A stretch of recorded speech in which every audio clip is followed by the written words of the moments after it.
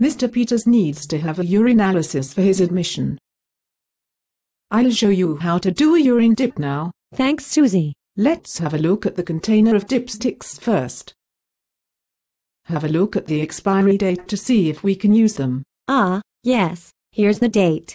It's okay the dipsticks are okay until next month. Good, then. We can get started. Let's wash our hands and put on some gloves and an apron to protect our uniforms from splashes of urine. Take a dipstick from the container and put the lid back on. This keeps the rest of the dipsticks dry. Okay, I've done that. I've got the specimen jar of urine from Mr. Peters on the bench for you. Oh good, thanks.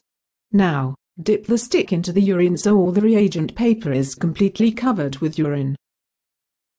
That's important because the reagent paper is what gives you the result. We need to wait for the correct time before we read the results.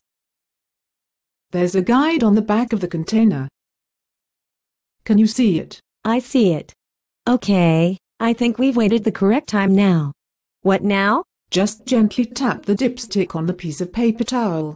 Now you can hold the strip against the reference guide on the back of the container. Hold it up like this? That's right. Just make sure you hold the strip the right way up. Okay, I understand. I'll just write all the results down now. Good idea.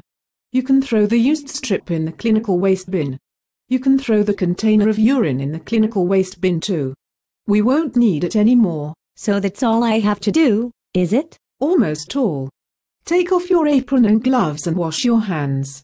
Then, you need to write up the result on Mr. Peters' chart. Oh yes, of course.